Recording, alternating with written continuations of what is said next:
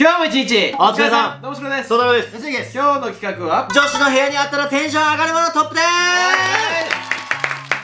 この前ね女子の部屋に寄せ書きあったらテンション上がるみたいな話したじゃないですか、うん。まあ確かに満場一致で寄せ書きはテンション上がるよねみたいな話になったと思うんですけど、ん他にもまあまあいろいろあると思うんでね、はい。ね女の子の家に行った時にこれあったらちょっとテンション上がるぞみたいなものを出していきたいと思います。わかりました。それではやっていきましょう。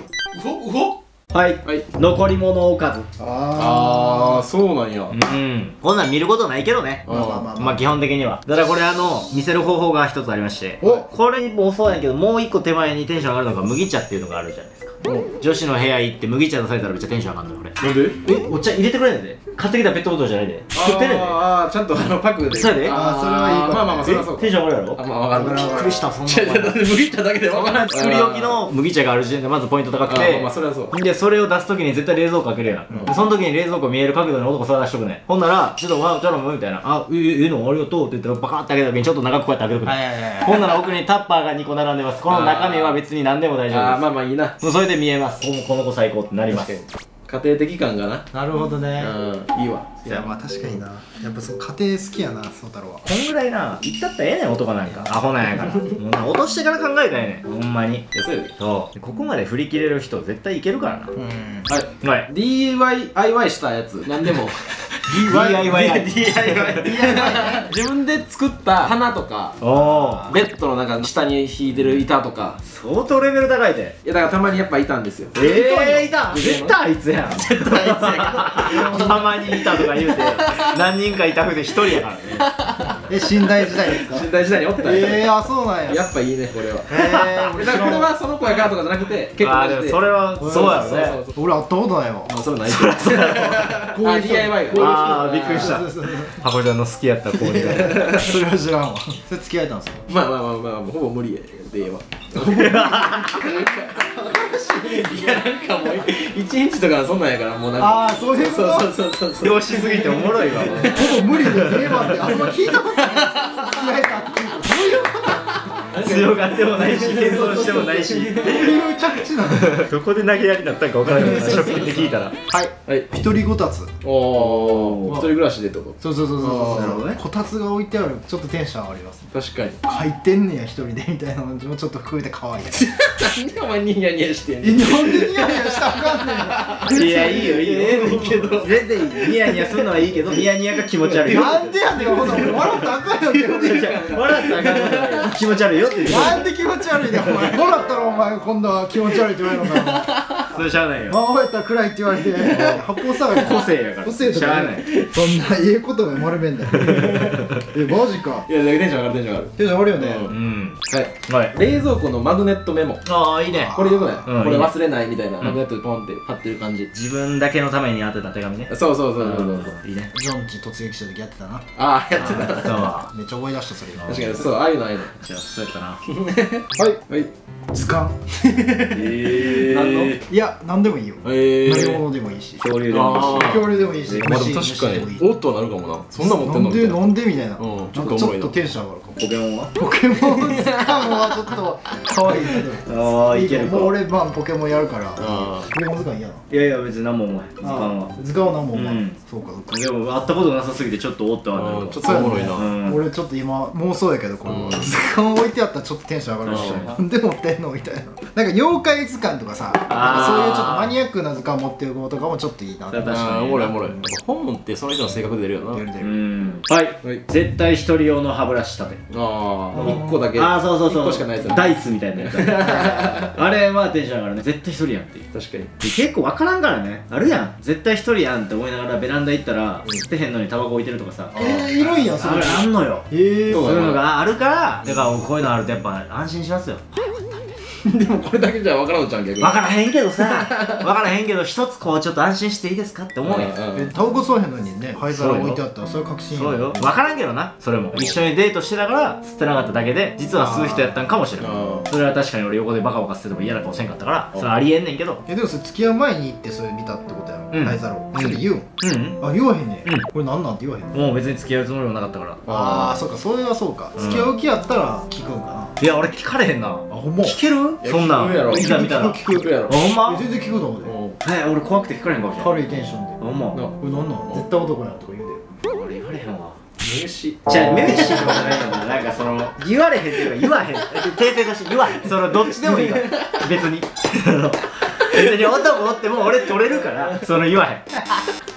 お前が出したいタイミングでその爆弾出してきても別に俺受け止めてるからいいか帰り泣き言わ。なへん。がら泣きながらいやいや全く泣いてへんしむちゃむちゃ天青いだけやしマンションから出てずっとこうやって天青いながら帰ってくるえー、言っちゃうな全然普通にあそう、うんあーって思った普通に早めに帰ったもんねその日はい。はい。薬箱入ってたら3番目ぐらいにあるかないかぐらいのやつが出てきた時に湿布まああるだろ。うまあ爪切りとかもまあそうやけど頭痛薬とかも多分あるやん。あけどそのなんていうのやけどの治療のやつとかあと金管とか。確かに。絶対ギリないやん普通。うん。漢方とか。あそうそうそうそうそうそう。あそこあるんすねみたいなやつがちょっとなんかあれなんやなってお飲むみたいなのとかうん。あ塗るとかで出てきたらえぐい。ああ確かに。うわーそこ揃ってるタイプやみたいな。うん。熱いねこれは。確かにな虫刺されのやつとかな。あそうそうそうそう。はいはいはいはい。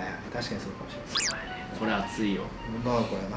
女の子やな。こんなん揃えへんからね。うんそうやな。はい。はい。はい。これすいません僕だけです。ゲーム機です。えあー。ちょっと嬉しいいです。やまあ分かるけど。なんか一緒に安いだけで感じませんけど。なあもううん。ちょっと一緒にやりたいですね。これでやっぱ自分がやってるジャンルやとなお嬉しいみたいな感じ。ああまあでももちろんそうやし。なんかね最近やっぱそのうつ系やってる子多いけどねシューティング。シューティングゲームみたいな、うん。そうそう。なんか RPG とかやってる子おったらやっぱ嬉しいな。あとうんスマブラとか一緒にやりたいし。漫画とかに近いんじゃんあーまあそうちょっと男の子っぽい感じのものがあったらテンション上がるみたいな。でも全然動物の森やってるとこ一緒に見たりとか全然できるから、う俺はん。このネイルを始めた お前今気づいた？今気づいた。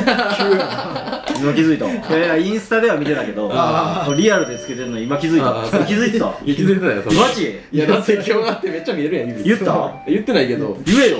いやまあまあ別に。ネイルってお前気づいたら言うのが一番マナー確かにな。で俺も教わったぞ会社の先輩に。女の子に対してはまあそうやぞ。確かにそうかもスウェーデンからなんですね。言うた日から俺会社で過ごしやすくなったよ。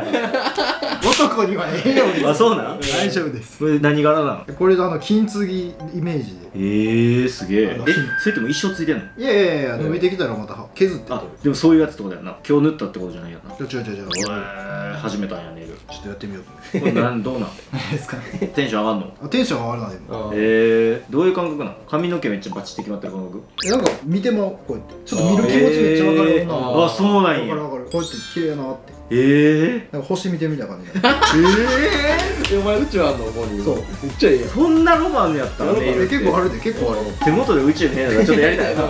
プラネタリウム行かんでや なんかちょっとこう気晴らしになってるかマジそんなになんや。でもちょっと見ても気持ちめっちゃわかるな。えー、メガネとかと同じ感じ？うんまあなんかな。ピアスとかさ。あそうそうそう髪型変えたとかに近いかもしれないえー、はい。おい。世界地図です。えー。おー、丸？いやは貼るやつやろうわーそれ渋いね。かっこいいよね。なんかちょっとテンション上がるかも。だいぶロマンあるでそれ。そうそうそうそう。ちなみに俺がその DIY の子も走ってました。マジで？すごっ。わかるし。なんでお前が誇らしいんかがわからん。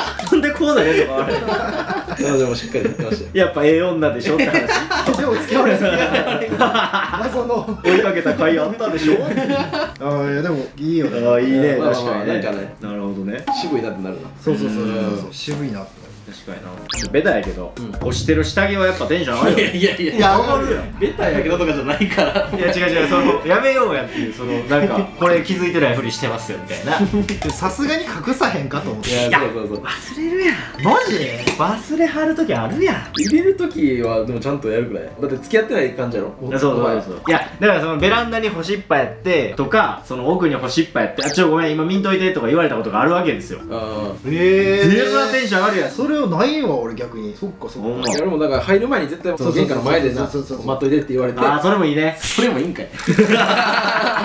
ちょっと待っといてもいいよな。うん。逆に付き合ってなくて初めて行く時とかやったらちゃんとしまっといてほしかったとか思っちゃうかもえあ俺を生すぎちゃうんかみたいな。そうそうそうそう。ちゃんと意識されてないってことそうそうそうそう。あえそらお前必死で隠すやん。そっかそっか。そこは。ええ好みやね。好みやな。いやまあ冷めませんでもちろん。であもそれエロいな確かに。ちょっと見やんといてとかはいいよね。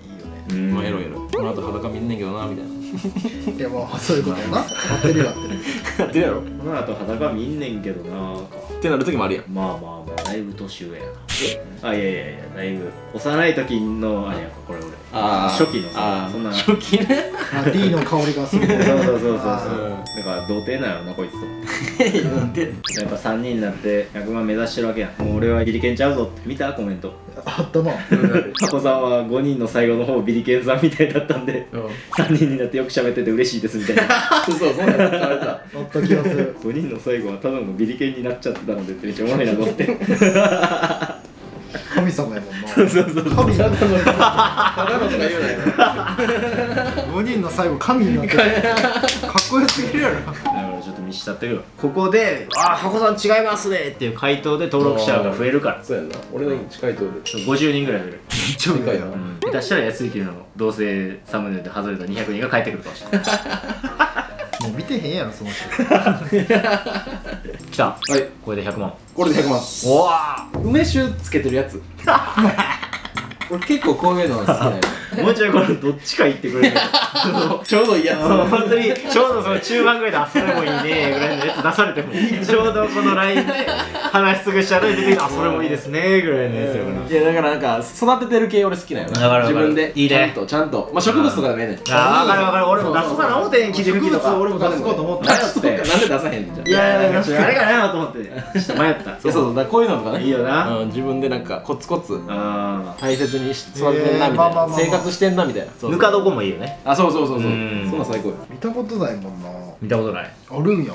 す。ごいな。ああります。ないなそれをぬかはないな。ぬかつけてたの？ぬかつけてたと思うけどな。ええ。俺結構見てきてるから。昨日の晩ご飯の残りの卵味噌汁残ってるとか見てきてるから。卵味噌汁？何それ？かきたまみたいな。ああそういうことか。そっちが気になったわ。すまんななんやろ。どうもなんで俺だけや お前もやろ。やなんでさ最近毎週のように2人で泊まってるのにさその会うたんびに噛み合わせ悪くなる。じゃああれ繰り返してたらさもうちょいこう掛け合い良くなっていくはずやだからなコーヒー飲んだりしてんねんけどな夜。そうやな二人でわざわざあの夜のカフェ意味ないって。いやまあ不思議だよな。なんかスキンシップ増えていくなと思ってね旗から見てたら。そ のケツパーンってやったりとか最近ようやってんなと思うけど、うん。会話だけどんどん離れて体近づいて体会話も珍しすぎる。それすぎる。ア イキャッチですはいということで女子の部屋にあったらテンション上がるものでした。でも結構マジでテンション上がるじゃん全部。うん。意外と見てるなってか男も、うん。意外と見てるんじゃないか。な、うん。だからまあ観葉植物とかやっぱベタでいいんかな。やっぱいいやんな観葉植物かねとか、まあ、女子っぽいなみたいな、うん男の部屋にないやろなこれみたいなのがあったら結構テンション上がる気がする、うん。そうやな。まあ、なんで皆さんこれから好きな人もし家に呼ぶ予定、ね、ある方ぜひ参考にしてください。あはいりがとうございました。よいしょ今日も動画見てくれてありがとう。はい皆さんファニコンって知ってます？お何ですかそれは？ファンコミュニティなんですけど祝賀市のファンコミュニティ、ファニコンというものがありましてこれ月額500円ですと。ただね今毎月イベントやってるじゃないですか、はい。僕ら。そっちのイベントのチケットをファニコンで買うと1000円割引になったりとおかあとは今クエリっていう僕らがメッセージ動画サービスみたいなやつですけど、うんそれが1万1000ポイント分のクーポンがもらえるよとか、はいはいそんな感じでだいぶ月額500円なんて関係ねえぞぐらいのクオリティになってきたので、うん。改めて皆さんに存在を知ってもらいたいなっていういやぜひねこの機会にね、はい。僕らがねクローズなコミュニティでライブをやったりとか、はい。スクラッチがやをやったりとかそうですよ。ねまあそのファニコンの会員さん同士でなんかこう交流できたりそうよ。そういう場にもなってますので。この間俺クローズドをいいことでお前らの悪口めちゃくちゃ言ったからね。やめて それは普通にやめてほしい。なんでっていう。まあそういうねあの、はい。結構距離が近いねより距離が近い場所になってますので、今までこんなこと知らなかったよって方いらっしゃいましたらよかったら概要欄から覗いてみてください。友達できたお願いりねします。はい、まあということで。今日一日お疲れさん。